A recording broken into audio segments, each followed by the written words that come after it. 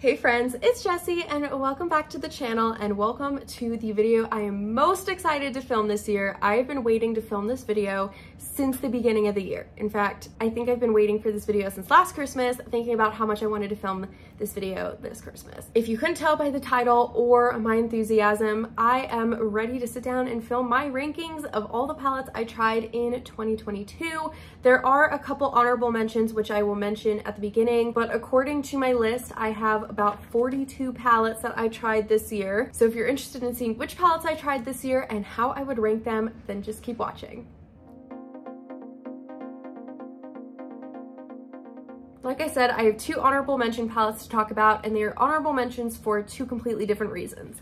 The first palette I have is the Charlotte Tilbury quad in the shade Walk of No Shame. And this is a very pretty quad. I got this in the spring of this year and I've really enjoyed it. However, it is an honorable mention because I, like I said, have redone this ranking four or five times already and I realized I forgot it and I wasn't about to redo the entire list just to accommodate a quad. So honorable mention. And then the other honorable mention I have is my ColourPop Back to Hogwarts palette. And this one is an honorable mention just because I feel like I haven't used it enough to give an honest ranking about it. I've only used some of the warm tone shades and I really wanted to make sure I was using all the shades before I put it in the ranking. So this is also an honorable mention. If you guys want to see more thoughts on either of these, let me know. I'd be happy to do more videos about these. But with that, let's go ahead and start at the bottom. I have 42 palettes, give or take, to talk about, but only 38 slots, and you'll see why. I ranked a couple together because they were either smaller palettes or they just went together, but coming in at 38, the bottom slot and the worst palette I tried all year. This unfortunately goes to the Rem Beauty palette in the shade Go-Go Boots, and I enjoyed the color story of this, However, I did not enjoy the quality. I felt like for the color story, it is Definitely out of all the Rem palettes, the one that spoke to me the most. I was super excited about it. I was super excited about this aqua shade and the lavender and the rose gold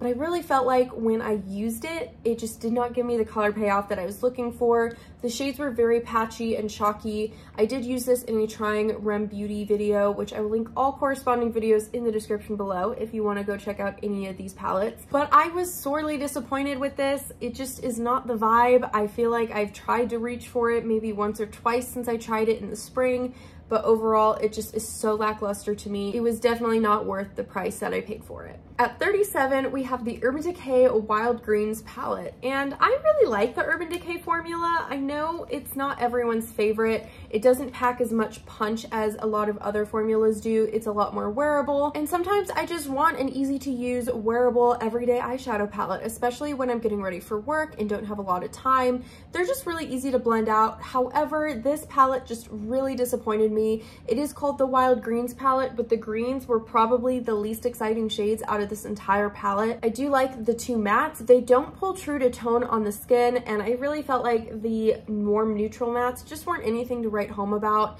I can probably count on one hand the number of times I've reached for this palette after I initially tried it and it just is not not a fave. Coming in at number 36 is the ColourPop Enchanted palette. This was their holiday palette that was, I believe, an Ulta exclusive. It was very cute, purple tones, obviously right up my alley. I love pink and purple eyeshadow. They are some of my favorites to wear, but this palette just really lacked quality to me. I haven't even used all of the shades yet, but I've used enough that I know I'm not a huge fan of this one and the quality just isn't there for me. I know ColourPop can be hit or miss and normally I really like ColourPop, but this palette just didn't do it for me. The shimmers were very lackluster. Even with the glitter glue, I felt like they didn't pack a punch and they are not ColourPop's best.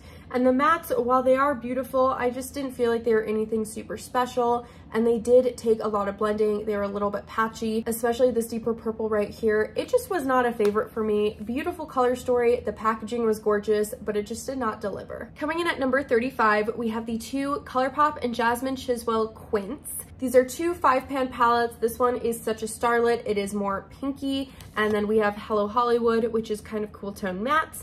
I overall thought this collection wasn't bad, but it wasn't amazing. It was just kind of there, and for whatever reason, when I was ranking them, they just kind of fell towards the bottom of the pack.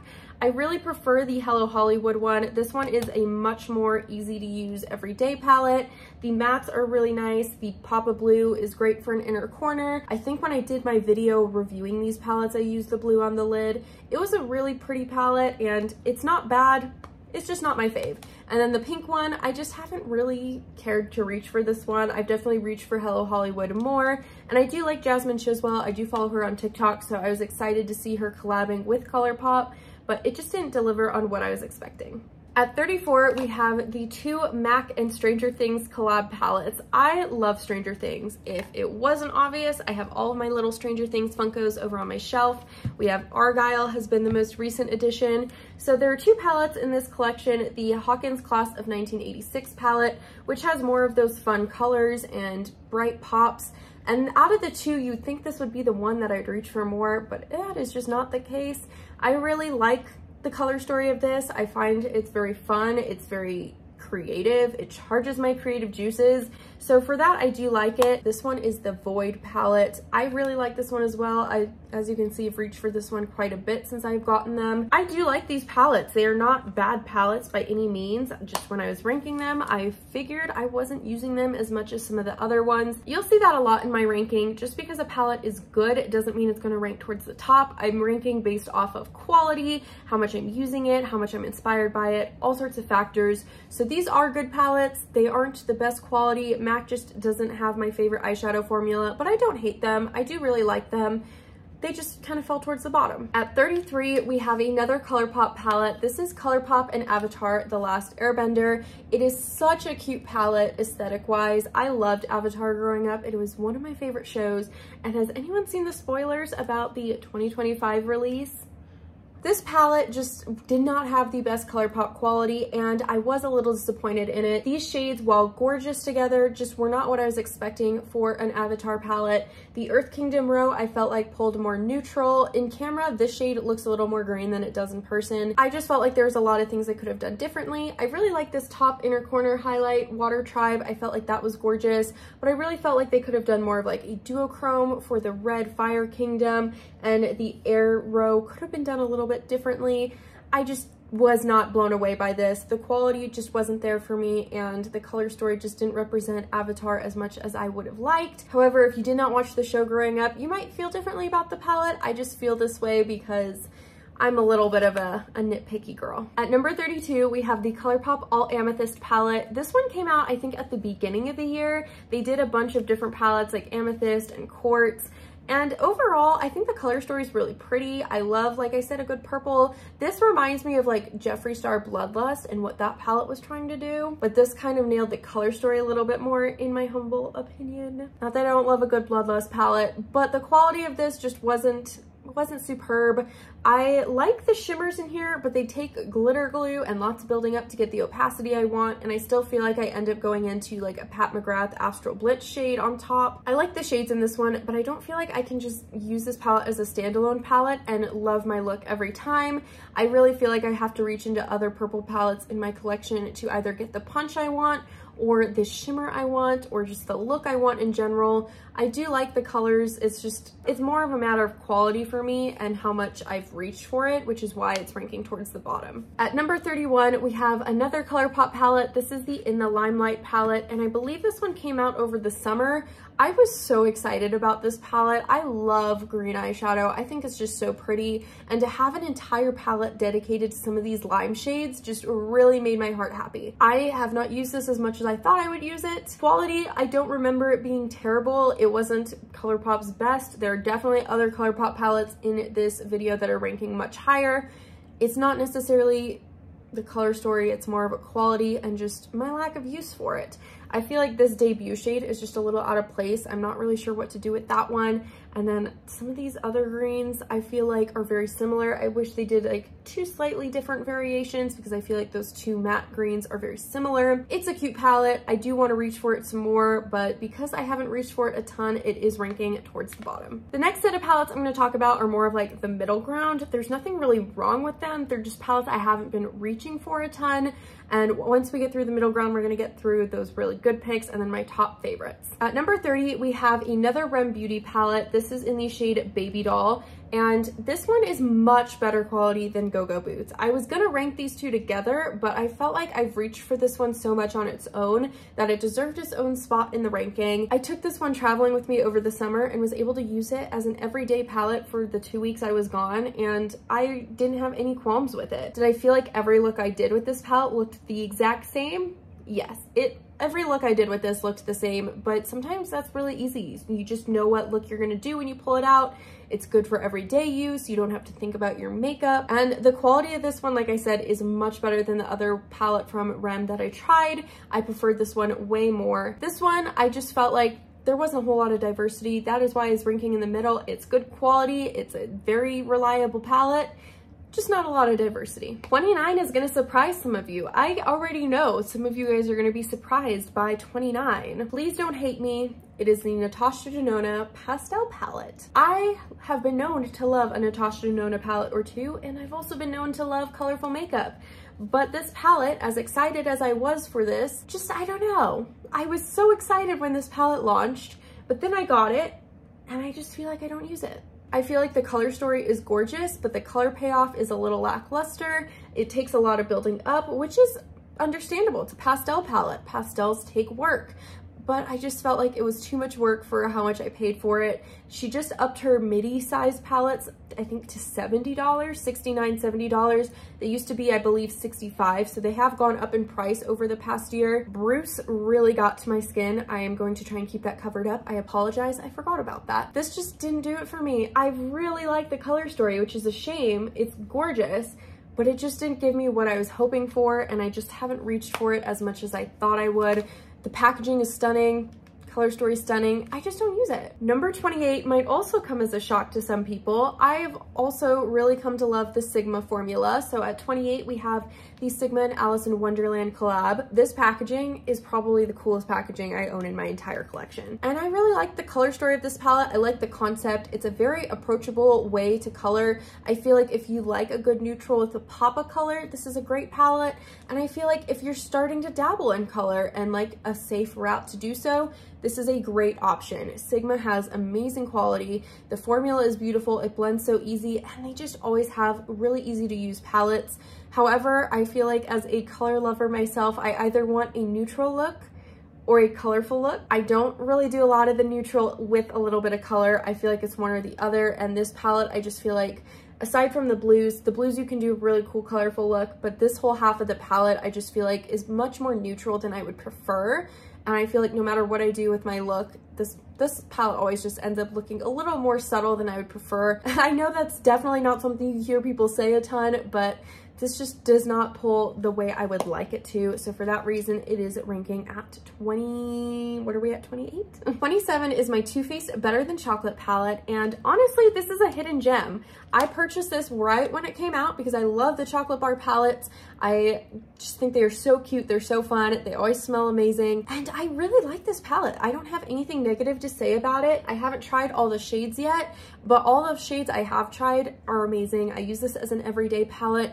And to be honest, when I was pulling out palettes to rank in this video, I completely forgot about this one. I was actually watching Morgan Turner's ranking video for the year and I was realizing she pulled out a lot of palettes that I have that I forgot to include in my ranking, and I believe this was one of them. When I realized that I had actually tried this palette and it did come out this year, I haven't used it since I think over the summer when it did come out because I tried so many things in a short period of time. But as I was ranking, I realized I really liked this palette and I really like it for every day. It's super reliable. I love the Too Faced formula. It's long lasting. It's easy to blend. It's very beginner friendly and user friendly if you like something super easy. The reason it is ranking so low is because it just kind of is that middle ground. It's neither special nor terrible.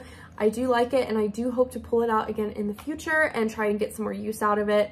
but for now we are sitting at 27. At 26, I have two of the ColourPop Shore Thing quads. We have the Wait and See quad, which is more of this blue turquoise quad, and we have the Wait and See quad, which is more of the corals and the peachy tones. As a whole, I liked these. I think these were some of the best quads I've tried from ColourPop. The color stories are great. I love monochromatic things because they just make it so easy when I do my makeup. If I weren't ranking these together, the Wait and See quad would definitely rank a lot higher than the Shore Thing quad. I think the Shore Thing quad is gorgeous, but I feel like I run out of creative juices very quickly with this quad, but the Wait and See quad I can do all over monochromatic looks. I also did a look the other day, I'll include pictures, where I did like a graphic liner using this palette and I really liked it. So if we're basing it one at a time, this would definitely rank a lot higher. I think the quality is absolutely amazing, especially for blues. These are really nice quads. I've continued to reach for them after I reviewed them, but they just aren't the best palettes I've tried from the year, so they are ranking more towards the middle. At number 25, we have the Lethal Cosmetics 1-Up palette. This is the cutest packaging. I've said that about a couple palettes already. This is a really pretty take on a rainbow palette. It's mostly blues and greens, which I like, but you also have some pinks and purples.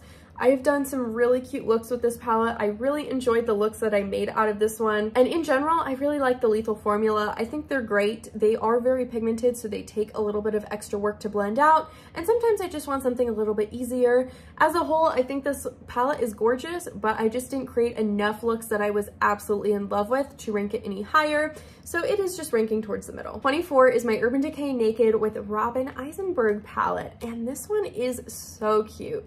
This one I definitely know got a lot of backlash. This was their holiday palette from this past year, and I can understand where people are coming from. A lot of people were upset because naked palettes are supposed to be naked, and a lot of people were upset because it just wasn't super colorful. I think this is a nice neutral meets colorful palette. Again, kind of like the Sigma and Alice in Wonderland. It is very approachable way to do color. It is gorgeous. The shades are super user friendly. It is laid out super easy so you can do a neutral look and add a pop of blue or you can do a blue look, add of pop of neutral. There's a lot of things you can do with this palette. It doesn't give me the insane color payoff that I have in some of my other higher ranking palettes, but it is definitely not a bad palette by any means. Number 23 is my ColourPop and Hocus Pocus 2 All Hallows Eve palette. This palette to me embodies Halloween. This is a true Halloween palette. You have the neutrals, you have the purples, the greens, the oranges. It is the truest Halloween palette in my collection by far. The reason it is ranking more towards the middle is just a quality thing for me. I do really like the color story, and to be honest, this is one of my favorite color stories ColourPop has done, but the quality just doesn't match up to some of my higher ranking ColourPop palettes, and for that reason, I am ranking it more towards the middle. It just isn't the best, but it also isn't even close to the worst. It is gorgeous. I've loved all the looks I've done with it and I like how it's laid out in rows so it makes it really easy and cohesive when doing looks. 22 is my ColourPop Won and Done palette. When I did my review on this palette, I remember being extremely pleasantly surprised. I loved the looks I did with the Won and Done palette. I will link that video down below if you're interested. I really like this palette as a whole. It has neutrals and pinks, and pink is my favorite color. So to have a neutral and pink palette, it's the perfect new everyday palette. I thought it was really great. It wasn't super standoutish to me. I have reached for it several times, and the shimmers in here are quite used, but as a whole, it just isn't the best of the best. From here on out, all the palettes that I'm going to talk about are palettes I really like, and this was really hard for me. So this next selection is more of those really great palettes, but they didn't quite make my top favorites. You're not going to see a single bad palette from here on out. At number 21, we have an Anastasia Beverly Hills palette, and this is the Nouveau palette. To me, this was ABH's comeback. I thought this was extremely well done. This was the only one out of their recent palettes that have actually inspired me and actually caught my eye. They've done a few different ones. I think they did, it was like the Primrose palette and then the Rose Metals palette. I'm not really sure if those are even the names, but this one is very, very pretty. I love the greens and this was one that ranked a lot closer to the bottom until I went back and reached for it a couple weeks ago and realized I actually liked it and reached for it several times after. This one has really sparked my interest again in the past few weeks, so that is why it is ranking more in the top half of the palettes. It's a great color story. I like that it's green heavy. The olives are great. I feel like a lot of times greens just don't look green on the eye. They pull a little more brown, but these all pull true to green on me. And I also really like the pop of lavender. At number 20, we have the Oden Solmon 2 palette, and this is one of my favorite palettes I've tried this year. I love the color story of this, and this was the first Oden's Eye palette I tried. You will see several other Oden's Eye palettes in this ranking. The reason it is ranking more towards the bottom half of my favorites is because I just haven't used all of the shades, and I feel like there isn't a ton of variety I can do with this one. It's either blues, purples, or yellowy oranges, which there's nothing wrong with that. I've loved every single look I've done with this palette, but I like the versatility in some of the other Oden's Eye palettes I've tried this year. At 19, we have the Jeffree Star Banana Fetish palette. When I originally reviewed this palette, I did not have the best of things to say about it, but I have found myself reaching for it just for like everyday use several times since I've done that review, and I use this a lot over the summer, especially like August, September. I felt like a lot of these yellow neutrals were just the vibe, and the shades I wasn't super fond of were some of these like darker shades and honestly, I've just been using other browns in my collection in place of those. But as a whole, I really liked the colors. I felt like maybe these pops of color weren't the best idea in this palette. I felt like they didn't have the best quality or color payoff, but for the most part, all the yellows in here were amazing. I think the color story is gorgeous. The pans being like the octagon shapes, I think it's so fun. It's something so different in my collection and something I didn't think I would enjoy as much as I would. At number 18, we have another Oden's Eye palette. This is the Christmas Eve palette and this is one of their holiday palettes. They did two limited edition holiday palettes. And like I was saying with the Solmon 2 palette, I really prefer this color story to the Solmon palette. I think it is just so creative, so fun. You have lots of dark grungy colors and I really like that it's like more of like the grungy cool tones. I really like the duochromes in here, the shifty shades, the shimmers are gorgeous from Oden's Eye always. This just out of all the Oden's Eye palettes I've tried was not my favorite one this year. I know a lot of people really, really liked it and I'm not discounting that whatsoever. It is a great palette by all, all accounts. It just was not my favorite. At number 17, we have a Nomad palette. I don't think I've had any lower ranking Nomad palettes.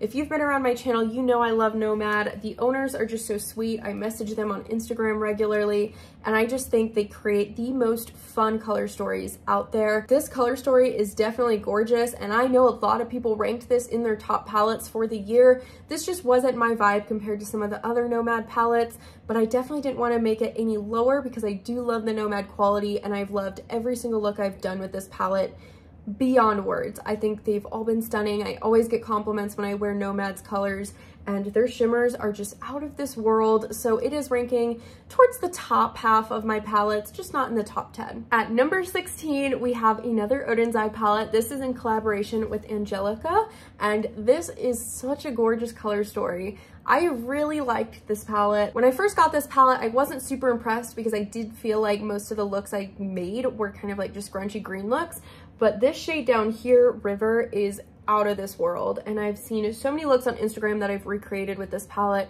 And since kind of like looking to other people for inspiration and how they use this palette, I have grown to love this palette immensely. It is one of my favorite palettes in my collection. The shimmers are stunning. I just feel like Oden's Eye and Nomad and all those other indie brands just do shimmers so much better than any mainstream brand. So if you are looking for good shimmers, Oden's Eye is where it's at. Number 15 goes to this hefty guy. This is the Jeffree Star Star Wedding palette. I originally wasn't going to get this collection. I really am not a fan of huge palettes like this. I just think they overwhelm me. But for whatever reason, I just decided to bite the bullet and get it anyway. this is not the most exciting color story that has been released. We have seen lower ranking palettes in this video with better exciting color stories, but I ranked this where it did because I find myself reaching for this all the time for everyday looks. I, like I said, have been gravitating more towards just natural, really quick and easy go-to makeup looks. I just have stopped caring so much about having these big elaborate looks for work and this is a palette that I reach into all the time for that kind of stuff.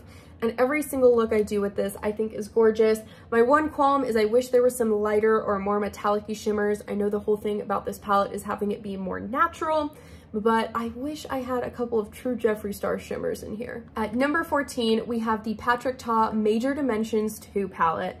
This was another one that originally was ranked a lot lower when I did my initial ranking, but after trying it out over the past few weeks have decided I absolutely love this palette. I cannot get enough of it. I feel like the reason I ranked it so low is because some of the shimmers were not true to tone, but I have tried some of these lighter shimmers since then, and I think they are amazing. They are the best things in sliced bread. So this palette is ranking much higher. I do think I'm going to continue to get a lot of use out of it, especially in the new year with me cutting back on makeup purchases. This one's definitely gonna get some love. At number 13, we have Sigma New Numod. This is my favorite Sigma palette from the year. I feel like this palette was so well done. I was so excited for it and I don't even know why. It's literally a berries and neutral palette, but for whatever reason, that just made my heart happy. So I decided to bite the bullet and get this one when it came out.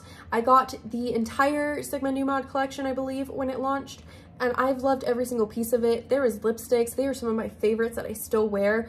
And this palette is just so easy for everyday use. I'm obsessed with Avant Garde, this kind of like bluey shifty shade. But even these other neutrals just make the most perfect, easy neutral looks. And I think it's just a gorgeous palette. The packaging is so cute. It's a shame it's not in my top 10. At number 12, we have Melt Gemini 2. I've reviewed this when this one came out as well, and I believe I gave it a decent review. It is not my favorite palette by any means, and actually now that I'm looking at it, I think I might have today ranked it a little bit lower, but I'm just going off of my ranking that I did last night. Every single day I wake up and these are different. I think the colors in here are gorgeous. There aren't too many shimmers. You only have two shimmers. It's very matte heavy, but you can get a really nice all matte look with it. I feel like all matte looks just are not my thing. I like a nice ratio of mattes to shimmers, but as a whole, this palette is very nice. And at number 11, we have the Nomad Polynesian Paradise palette guys, this is one of my favorite rainbow palettes I have ever tried in my life. I think these colors are gorgeous. A lot of these mattes are very creamy. They have almost like a super shock color pop texture. These shimmers are just so stunning. They are so wet looking. You don't even need a glitter glue to make these look good. The reason it is not in my top 10 and just below my top 10, I couldn't tell you because this deserves everything in the world. It is one of my favorite Nomad palettes by far. I think the color story is great. The packaging is very cohesive. I like how the colors pop in this aqua packaging.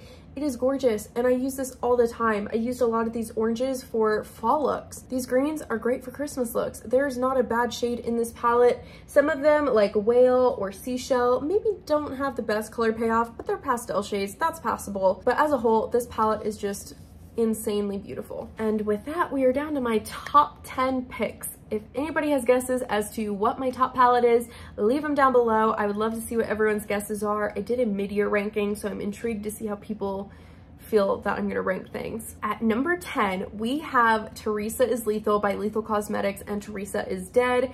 And this palette, my dudes, is gorgeous. The color story in this one is, to me, a little bit more chaotic than their collab last year. However, I do really like the color story and the reason this is ranking in my top is because my favorite neutral go-to look right now is this top row.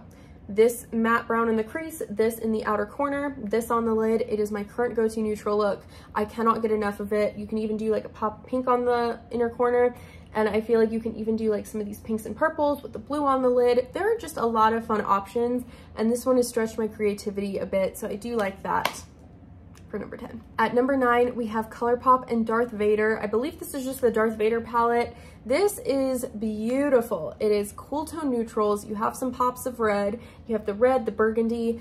And can I tell you my favorite shade in this entire palette is this black. You can tell it is very loved.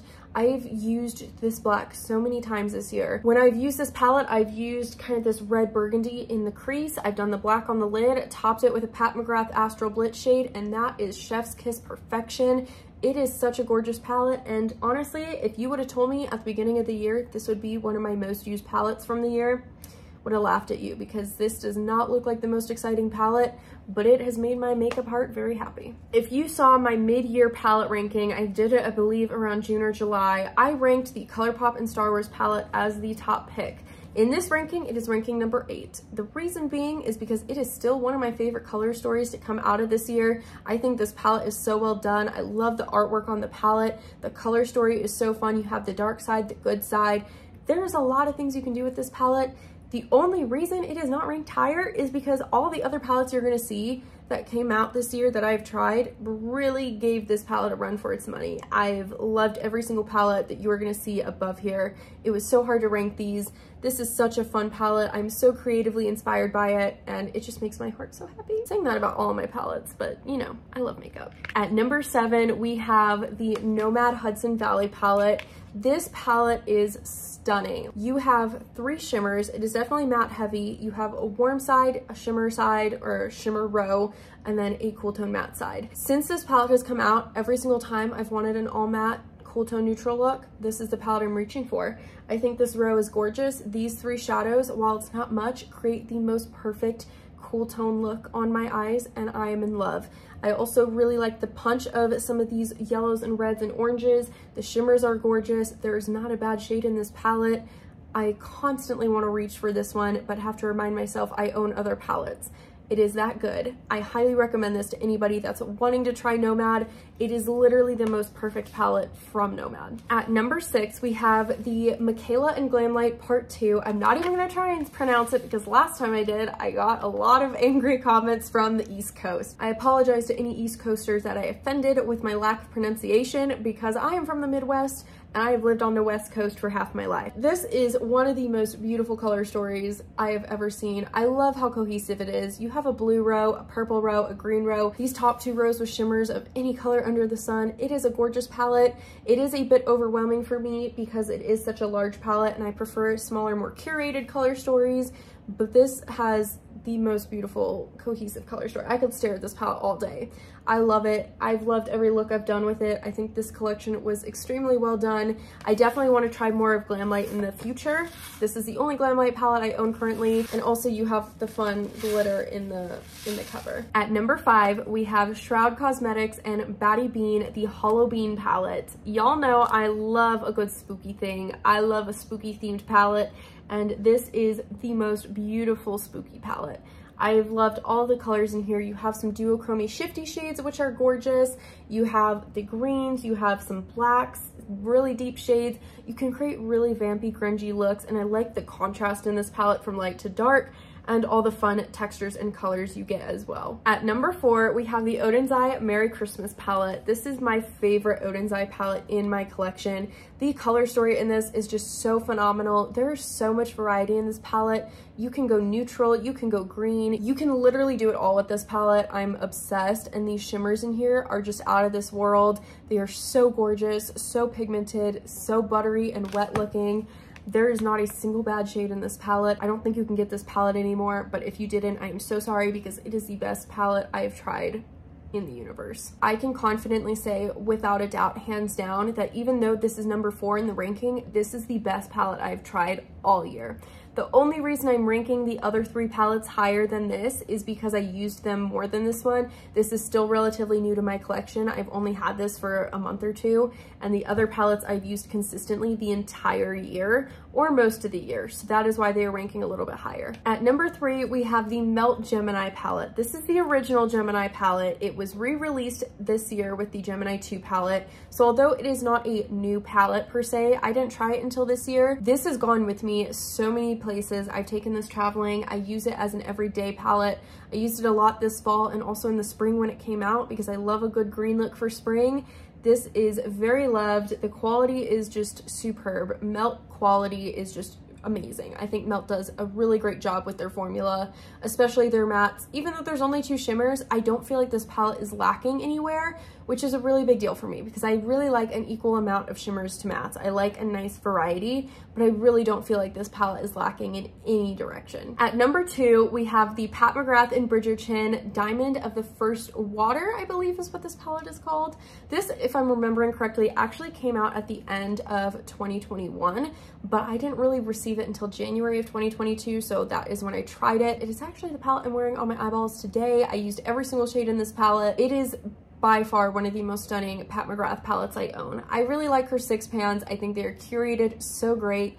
There isn't a single bad shade in here. You have like this gelée or gelée, I don't even know how you say it.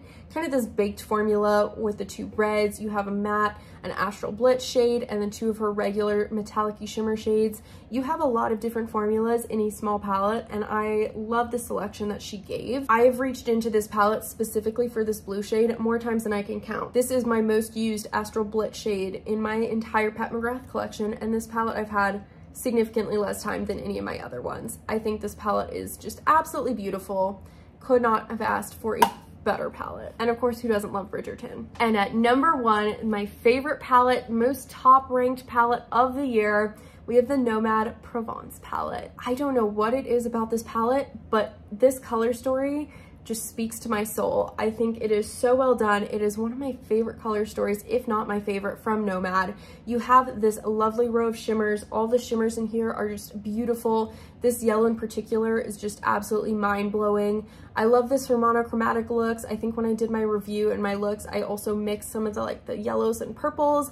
I did a lot of different looks with this and I feel like every time I look at this palette, I want to do something different with it. This palette, I believe, came out over the summer and the reason it is ranking number one is because I have used this more than any of the other palettes I've used this year. There are already massive dips in a lot of these shadows. The embossing is completely gone on a lot of these shadows and I've used the absolute crap out of this since I purchased it. I, as you can see, have tried over 40 palettes this year, and for me to sit there and want to reach for a palette repeatedly to the point where I pulled this out of my Shop My Stash just to put it back in like a week later because I missed it that much. Like that says something about the palette. This is definitely a standout palette to me. I'm going to continue to use it in the future. I know it. One of my favorite palettes, the best palette I've tried this year. And with that, I have talked your guys' ear off about palettes long enough. I'm going to go get a snack. I hope you guys do the same. I hope you guys enjoyed this little video. I know it's a little bit on the longer side, but definitely let me know which palettes you tried, what your favorite palette was.